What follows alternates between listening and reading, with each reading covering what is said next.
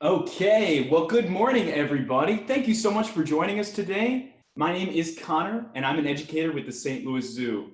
Now, today we are talking about an ecosphere experience, and I want to kind of talk about what that is. But before we get started on that, let's talk about Zoom logistics. Now, I've been running a lot of the tech side of things for Zoom lately, so hopefully I'll catch everything. But um, first thing started, um, we do have a chat box. It's either in the top or the bottom of your screen on a black bar. Go ahead and find that now. It's a great way to communicate with me while we're, we're uh, speaking. If you have anything that you want to add into the conversation, I'd love to see it.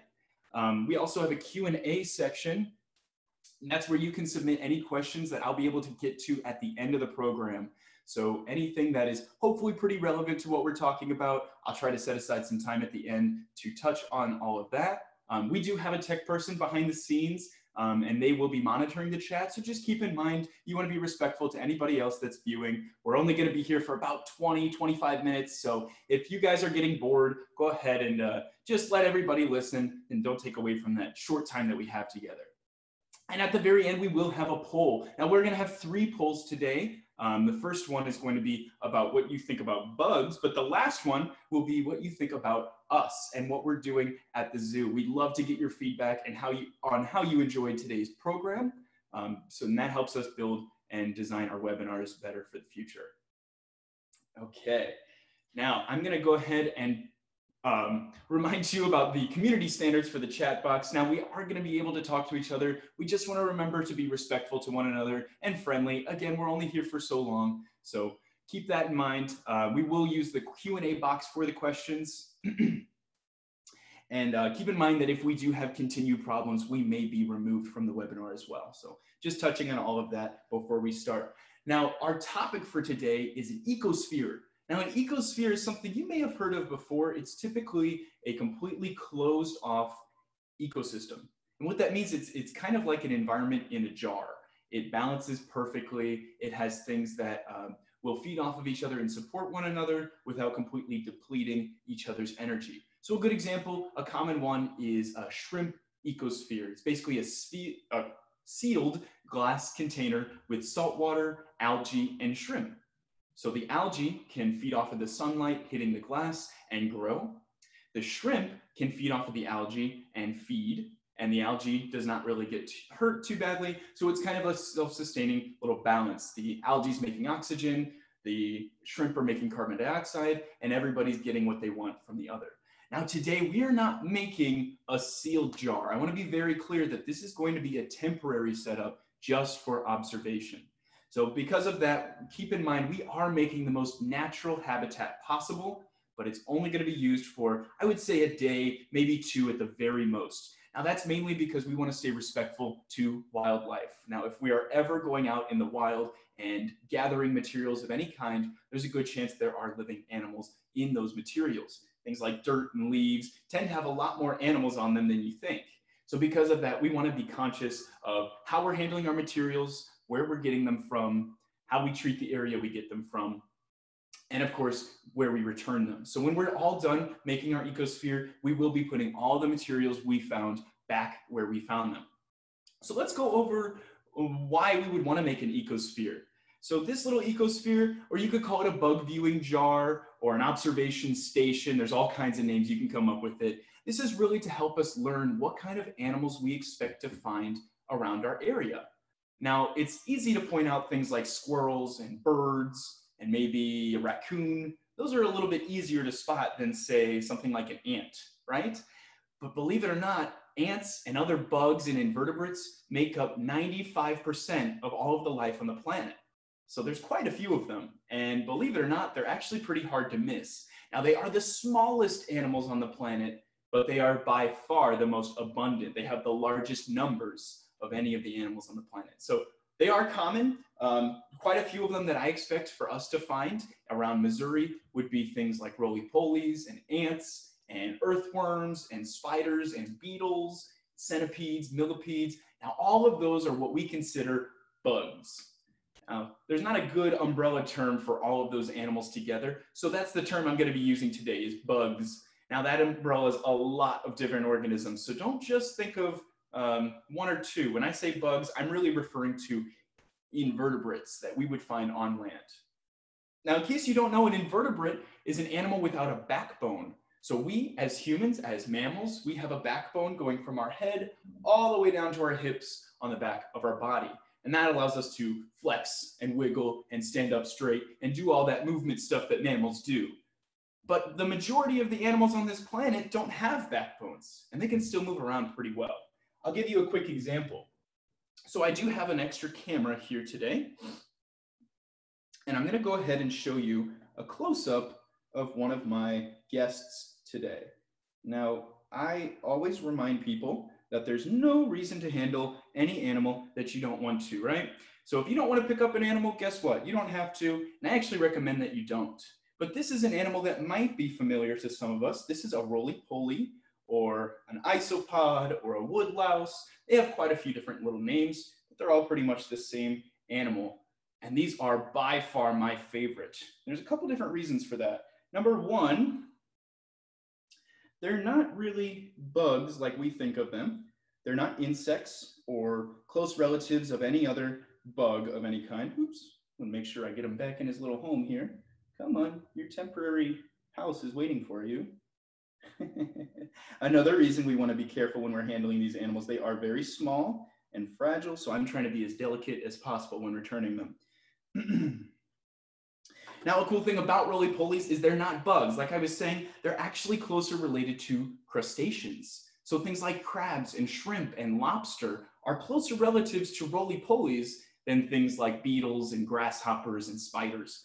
Um, now, because of that, they actually do have remaining gills. So when we're taking our samples of dirt, it's a good idea to remember that some of these animals might need some moisture to be able to breathe It's kind of a fun fact. I wouldn't normally think of an animal like a roly-poly eating water to be able to breathe, but it is a very important thing to know, especially if we have these animals in our ecosphere. Now that's one quick example of what we might find. I'll show you a little bit better view of the roly-polies in just a second.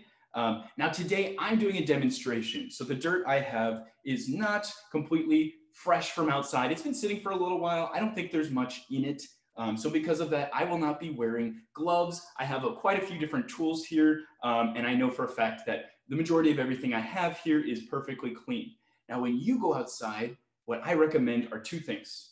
One, to follow nature etiquette rules. Now, what that means is when you are moving something in nature, you wanna make sure you return it back to the way it was so that you can allow that space to be a future home, excuse me, a future home for more animals. So if you find whatever kind of animal, a couple of worms under a log, you want to make sure you put that log exactly the way it was when you found it so that other worms and other animals can use that same log for their home. So that's a good little uh, reminder when we go outside. The other thing to remember is um, you will be um, gathering dirt and leaves, things or materials that a lot of animals use as their home. As a result, it's a good idea to wear some garden gloves or maybe use a little hand shovel, something like that to gather our materials. So before we move on any further, I should have mentioned this earlier, I'd love to start with our first poll. We do have a poll. We're gonna ask you all about your comfort level with bugs. so go ahead. I think our poll should have popped up now. Now let us know. Now personally, I love bugs. You saw I was capable of having one in my hand. I feel very comfortable um, handling certain bugs. There are still plenty of bugs I would not consider putting in my hand. So I would put myself at maybe the bugs are cool from a distance or maybe the I love bugs status but everybody has different levels of comfort. I've seen it all. My main job at the zoo is actually to bring animals to schools where kids can interact with and touch those animals. So I totally understand not everybody wants to touch an animal. It's a very normal part of my job. I'm just curious to see what you all think. So let's go ahead and see if we have some results from this poll. Okay. All right. Wow. A lot of us love bugs. I was actually not expecting this.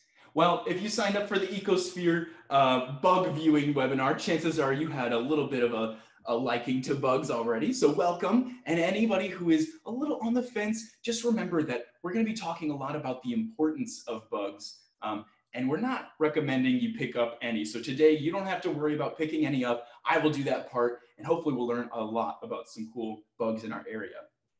I should have mentioned this earlier as well. If you would like to put how many people are calling in today from your device and also what city you're calling in from, we would love to have that information just for our own knowledge. It's uh, kind of cool for us to know how far our webinars are reaching, how many people they're reaching and things like that. Now I'm gonna go ahead and get us started on the materials we'll need. So this is going to be our ecosphere today, and this is a pickle jar. Not super fancy, not super expensive. You actually don't need a lot of extra materials. Most of what you can use for this is stuff I use around the house. So I didn't go out and get anything super special today, uh, for today. Um, you could use a recycled container like this spinach box. Now this is completely clear, it's plastic and it is recyclable. So what I could do is I could use that as an observation bin and then clean it after I was done using it and still recycle it. So it's kind of like reusing and then recycling. It's a nice little uh, extra use that we get to, to do before we recycle it. So that's gonna be our first step is a container of some sort. We're then gonna need some dirt. Now I put mine in a Ziploc bag and that's because I don't want anything in the dirt to wander off into my apartment here. And also because I want to keep it kind of dry. I wanna keep it uh, well, excuse me, I want to keep it the same level of moisture rather. So I don't want it to dry out anymore. I don't want it to moisten up anymore. Now, when you collect your dirt, again, you're going to want to use gloves, shovel, thing like that, uh, because you never know what's in that dirt that you're moving. Same with the leaves. So I do have some, some dried leaves in a bag here as well. And what I'm going to do is combine them all in my jar. Now you can always add more moisture. I have a little spray bottle here and this is just distilled water. It was sitting out for about 24 hours to evaporate any of the extra stuff in there. So pretty safe if you could use um, reverse osmosis water or special filtered water. That'd probably be even safer, but for today's purposes, that's gonna be just fine. I can always add more moisture with that squirt bottle, but I can't take it away. So I wanna make sure that I keep my eco jar as dry as possible until the end when I can then decide if these animals will need more moisture or less. So another good little tip here is I take a piece of paper just out of my printer and I can make a funnel. And that funnel is going to work great for keeping this dirt out of my carpet, which is always a nice thing that the grown-ups that might be helping you with this project would probably appreciate as well. I know my wife will. so I'm going to make our handy dandy, very deluxe funnel here, and we're just gonna start putting some dirt in. Now I'm not gonna be super careful. Again, today is a demonstration purpose kind of activity. This is actually too big for my funnel here. So I'm just putting in some dry dirt here. This is actually very woody stuff. It's uh, kind of like ground up fiber from bark and things like that. So very dry. And again, I know there's not a lot of living things in this stuff, now, again, when you're going outside, you're gonna want to be careful when you're handling any dirt because you never know if there's a centipede or a spider hiding in there. And while those animals are not aggressive, they certainly don't like their homes disturbed. And I certainly wouldn't be um, feeling very safe if I had a giant ripping apart my home, right? I'd probably defend myself too. So I can't blame any spider that would be hiding in our dirt for reacting. That's just what they do. Now that's why we always are careful and respectful any materials that we gather, especially from outside. And again, why we want to return them to where we found them. Okay, so that looks pretty good. I got some chunks of dirt in here. Now I'm gonna add some leaves. And this I am gonna use the funnel for because I wanna crumble my leaves. Now that's because those leaves will add a little air pocket uh, for animals to hide in and also, the, these leaves work great as food. So a lot of the animals that I expect us to see, like those roly-polies, or maybe snails or earthworms, they're what we call decomposers. Now, what is a decomposer? Well, a decomposer is an animal that eats dead plant matter, like these dried leaves or maybe dead wood, and they turn it into soil. Now, they don't have a magic wand where they just turn things into soil, right? Uh, we turn our food into stuff too. I bet you can guess how. Now, every animal does that process. They eat their food and it comes out somewhere else, right?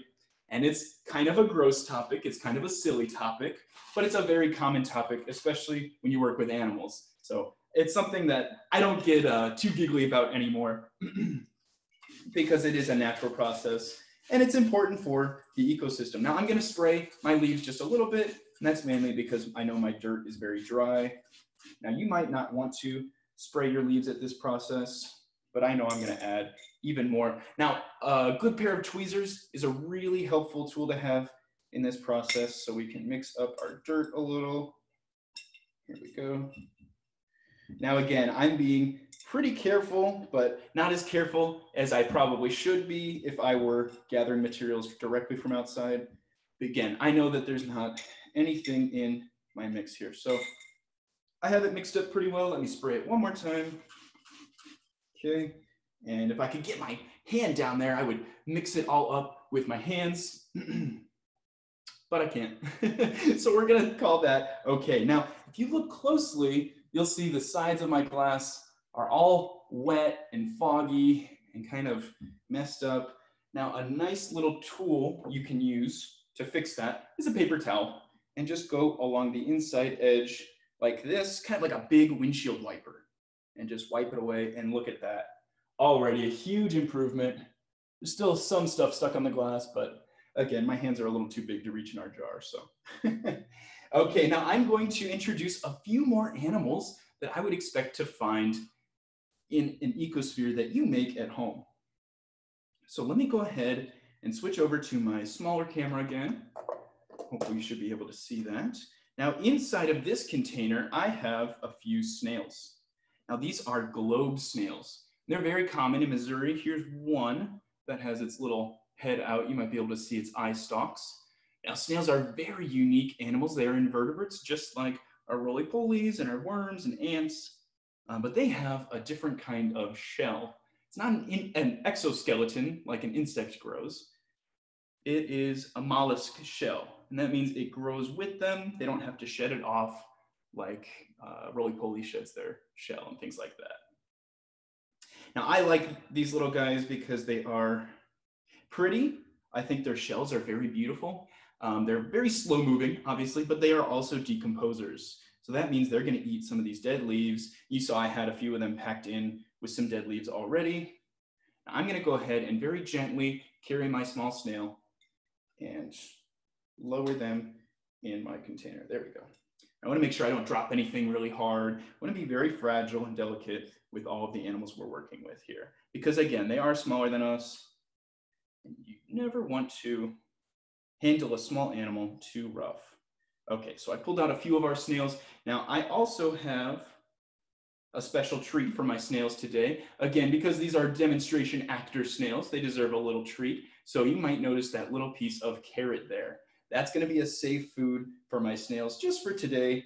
Now, my recommendation for our ecosphere is not to add anything to it that the animals wouldn't find in the wild. But today I have a little piece of carrot just to hold them over and make sure they're getting fed because I've been holding them a little bit longer than, uh, than you normally would. Another thing we want to add are our roly-polies. I started mentioning these earlier a little bit. Let's go ahead and zoom in on our camera here. We can see quite a few of them in here. Now, these are just one of the species of roly-polies we can find in Missouri. There are gosh, so many that I've seen personally. I don't actually know off the top of my head how many you can find, but I will say there's got to be over 10 because I have found four or five in one eco jar um, sample at a time. So very, very interesting animals. Again, they, they do need water to breathe. So they're a little special like that. Let's go ahead and this is just dirt I'm adding in here. Ooh, this is a good time for my funnel, isn't it? Whoops. Yes, so minimal mess, especially for the grown-ups that are watching. This is a process that we can do without making a mess if we're careful. Here we go. Now I might have buried my snails just a teeny bit here, so I'm gonna shake that around. There they are. Yeah, and now snails can dig very well. This is loose soil, so if I put a little dirt on them, that's okay. They'll get themselves out, especially once they smell that carrot again. Now I'm gonna go ahead and add my roly-polies, and I'm gonna do that in the safest way I know how.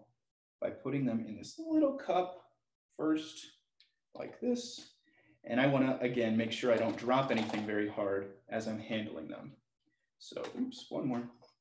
There we go. Very gentle and very slow. You can see I have quite a few little roly-polies I set aside um, ahead of time for today. Okay. now, I love these little creatures. Um, they're so unique. They just look different, right? Because they are crustaceans. They're not bugs like we typically expect to see. So let's let them walk in real gentle. Now they have, I believe, seven pairs of legs, which is quite different from the three pairs of legs we typically see in insects. There we go, very gentle, little taps to slide them, perfect, okay. Okay, so we have some roly-polies, some snails. Now there's one more very important decomposer that I would expect all of us to find, especially if we're scooping things like um, leaves and dirt, and that is worms. Now we mentioned earthworms earlier. Earthworms are another one that a lot of people don't like to handle, and I can't blame them. Some people, the more legs, the scarier the animal. Some people, the fewer legs, the scarier the animal. Just kind of depends. But with earthworms, I love to remind people that, that they are completely harmless. There are no teeth, or claws or even jaws to munch with if they wanted to. Um, what worms do to chew their food is they actually swallow teeny tiny grains of sand or little tiny pebbles and rocks, and they kind of wiggle their bodies to use those as teeth to grind their food. So a similar practice is in birds, they swallow stones to help grind up the seeds in their belly after they've swallowed them because birds can't chew either. So um, worms have that little gizzard stones, what they call it, um, that allows them to chew in that same way. Now I'm gonna go ahead and, my worms are a little sleepy today. Now I'm not gonna rile them up and get them wiggly, but I do want to show you all that these are some pretty small worms. Um, these are not gonna get much bigger than they are. Now there are a couple different earthworms in Missouri, and these are some of the smallest. Now the largest are the Canadian night crawlers, and believe it or not, they can get over a foot long. They are humongous. And a lot of people, when they see them, they assume that they're snakes. They're not snakes, they are earthworms, and they are harmless. So even though they could get really big, all they ever do is eat dirt and poop it out. Just like we were talking earlier, decomposers, they eat all of the dead plants and they poop out soil. Um, so fertilizer, food for new plants. So we call those castings, and we actually give those castings away to classes around St. Louis to help them with community gardens. Those castings are a perfect fertilizer to help a lot of plants grow. So now that we've added our worms in here, I'm just gonna add my final touches. I'm gonna give us another little windshield wiper swipe here to make it look nice and pretty. Because uh, again, I'm showing off today, right? I have to make it pretty to demonstrate for you all. Now yours might be a jar of mud and dirt, and that is okay. As long as you're seeing some live animals, it is serving its purpose. Now the last thing I wanna add are decorations. Now, I don't usually add a ton of decorations to my things, but there are some that are very special to me. So I'm gonna show you just a few things I'm adding in here. Now, a lot of people don't know that Missouri is a great place to find ocean fossils. Yes, that's right. Landlocked Missouri. You can find all kinds of fossils from the ocean. Now, this little pattern you might notice right here is from an animal. Now, go ahead and tell me in the chat, what kind of animal do you think that pattern right there could be from? Now, when I first saw, saw this, I thought maybe a fish fin or a bird feather, something kind of odd like that. Now, the animal this is from is actually a sea fan. So, an animal that's still around today, and it is a coral. So, on the coral reef, uh, we do have sea fans, and corals are animals. They're not plants, even though they look a lot like them. So, we do have an animal fossil here, and I'm going to go ahead and add that in our jar very gently so I don't drop it on anybody's head. There we go. Okay. And we're going to add another one of my favorite fossils ever. Now this one doesn't look like much, but this is from a crinoid. Crinoids are close relatives of starfish and sand dollars, and crinoids have a big column of discs. So imagine a bunch of CDs um, stacked on top of each other. And that's what each of these little lines are. So if you take this rock, you can see these are the individual disc imprints, just like little CDs, little circles. And you know that these are fossils because they are perfect circles. Rocks don't form in perfect circles. So these must be from a living creature. So I love crinoids especially. I have this beautiful little polished amethyst stone I found in Missouri um, and polished when I was a little guy. Here's a top part of a crinoid. So this would be the part that looks more like the starfish. Those little lines are kind of the legs. And the last thing I'm gonna add is a piece of a crawdad claw. So here is, a crawdad is like a crayfish. It's, well, they are the same thing. it's kind of like a miniature lobster. So this little claw is from another invertebrate, and this hard shell is its exoskeleton.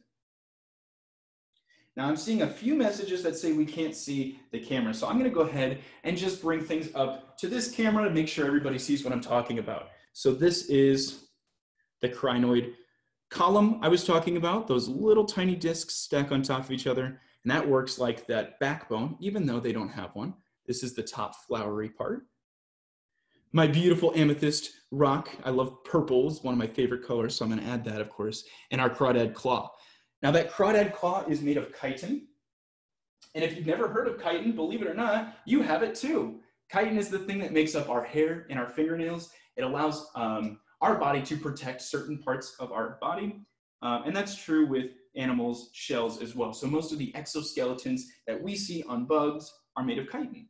Now what's special is my roly-polies I have in here today can actually munch on that chitin. They can eat it, and then they'll use it for their own shell. So what they're doing is they're chewing up the shell of another animal and putting it towards their own shell when they grow. So it's kind of like a weird recycling practice that I wouldn't recommend us try, but it's certainly unique and very useful when you're a bug and you're around a lot of other bugs. Because what they can then do is use other bugs' shed skin to help them grow their own skin. So again, a very interesting kind of taboo process, but very unique and very helpful for these animals. Now I'm gonna give us a little opportunity to look over what we have so far. Now, if you can't see the phone video, I will try to do another, oops, another view where I bring us up close to the camera, but let's just go ahead and use this phone at first, and I'll give us another chance to look without the phone. And you can see our little crawdad claw. Now those roly-polies will munch on that claw and help them grow their shell. You can see our fossil. Now let me know if you can see any animals in here. And again, if we can't see the phone, that's okay. We'll take a second. now I'm starting to see those roly-polies and worms are tunneling down in the dirt already. so let's bring this a little closer so other people can see. Now, an important thing to remember about a lot of these animals is they live underground. So chances are, when we bring them out of the ground and they see sunlight, they want to dig again. They don't want to be out and about and exposed where they think the predators can see them. So we can see our roly-polies are wandering a little bit right here. We have one on our fossil. Good, okay, we see some of them. Now there is a little worm next to our white rock right here. I don't know if we can see him, but they are quickly finding their way down into the dirt where they'll make their home. now remember, we did say something special about our roly-polies, right? They need a little bit of moisture to be able to breathe because they have gills. So I'm gonna go ahead and add a little bit of moisture. We did some of this during our process, so I'm not gonna add a lot. What I recommend, now again, this is temporary, so it's only for a day or two, but even so, it is possible to add too much moisture. So what I recommend is only misting one side of the container. That way the animals can choose if they wanna be on the wet side or the dry side, rather than having the entire container be too dry or too wet. So we'll do this. Just spray on the front side here. That'll even wash some of the dirt off like a windshield wiper again. Wonderful. Okay, so that is pretty much our final product. Now you can add whatever you want to it. Um, I have extra snail shells I was gonna add. I even have some live moss that sometimes can be really pretty and a nice hiding spot for a lot of these animals. Now, the only guidelines I'd like to give you are to remember to respect these animals, to be as gentle as possible. Um, if you are going to use tweezers, try not to use them to pick up the animals. They are very precise tools. However, it's very easy to pinch just a little too hard. And unfortunately, when you're working with animals this small, one pinch can be a little too much. So we're going to be very careful with the animals. And remember, we're being very respectful to their native habitat. So that means we're trying to replicate it the best we can, but we're also trying to keep it um, pristine as best as we can. So wherever you got your materials from, you're gonna return all of this stuff back to that area so that these animals and the animals living in that area can continue to have those food sources and all of the different hidey holes that they would like to live in. Okay, well, I'm so glad you all were able to join me today. I'm gonna go ahead and uh, ask our second poll now. Now, after we've talked a little bit about the decomposers and how many animals are out there that are invertebrates, now what are our thoughts on bugs? Now, some of those answers are slightly different, but the same basic idea. Oh man, and I'm looking through our Q&A and I'm so excited because I mentioned earlier, questions are one of my favorite parts of this job and we have some awesome ones. Okay, so I would love to see that poll whenever we're finishing up. And I'll go ahead and answer our first question. Can we use wood for this? Absolutely. In fact, I recommend using some kind of bark or dried petrified wood. I have some driftwood here and it feels like styrofoam. It's very lightweight. Now it's not going to um, add a ton of nutrition necessarily, but what it will do is give a great hiding spot. Oh man, okay, I see a lot of good responses in the poll. Still not a fan, maybe learning some more could help me um, be less comfortable. I love when people recognize that answer. There are plenty of animals we're not comfortable with, and that is fine. Sometimes learning a little bit more about them would help us appreciate them more. So especially for me, knowing the important job that some of these bugs play really helps me appreciate and respect them. Now, a centipede is not an animal I would like to pick up, but knowing that they are bug predators, they keep some of the pest bug populations down, makes me respect them even from a distance.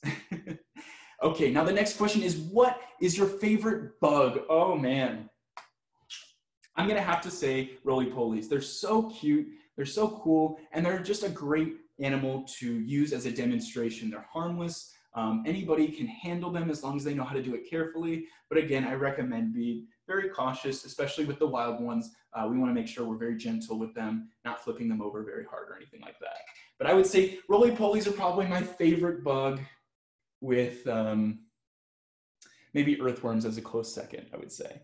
Okay, now where can we find snails? That's a great question. Now snails love moisture. So I know, especially because I have snails in here right now, that I wanna keep this nice and moist. Typically, I find snails under rotting wood um, where there's a lot of moss and algae to munch on. They do like to eat root vegetables as well. So again, that carrot was a good choice. Um, but typically they'll be eating something underground, a root of some kind.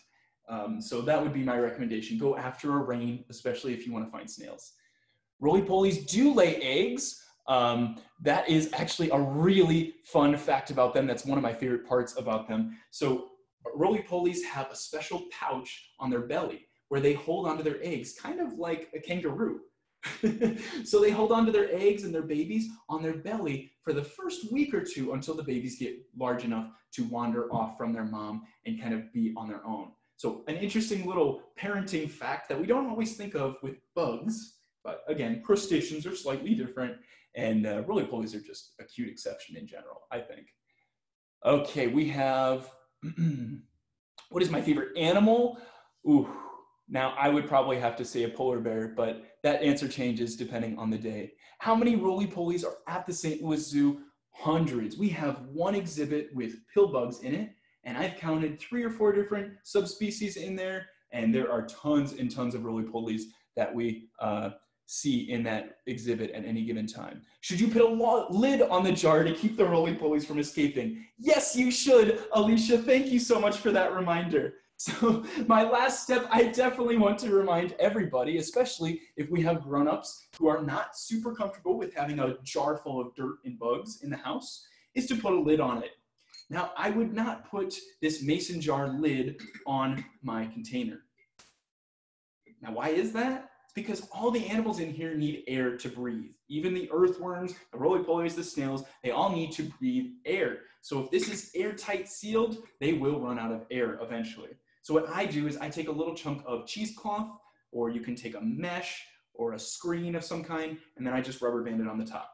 That will keep any um, small fly uh, animals or, or any I guess, crawly small animals. So spiders, ants, fruit flies, they will all stay contained because these holes are very, very small in the lid. So that's my recommendation. Now, if you don't have cheesecloth, you can absolutely use this lid, but I would poke a few holes in there or try to tape a screen or something of the sort um, over the top. That would be my recommendation. Um, thank you for that reminder because a lid is a very important part when we are containing animals. Okay, so we have two more questions I'll get to. How many types of roly-polies are there in the US? Now, I don't actually know the answer to that question. I know there are at least 25, but roly-poly keeping is now a common hobby.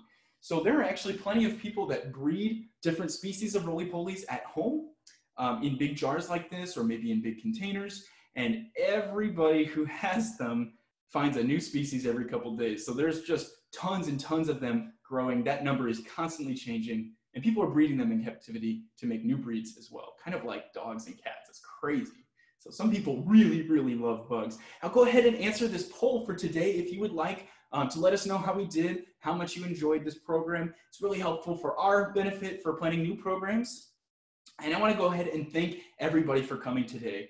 Now, it's been a long time since I've had a chance to teach, so thank you all for coming. This was a wonderful opportunity to do one of my favorite hobbies um, for the zoo at my home using materials I had here. Very special um, to be here with you all, and I really appreciate you coming. Now, if you have any additional questions for us at the zoo, we will show a slide at the very end that gives you an email resource you can contact, or you can go to our website at any point um, to look for more information on the animals that we have posted there. Thank you all for coming um, again and have a great rest of your day. Bye-bye.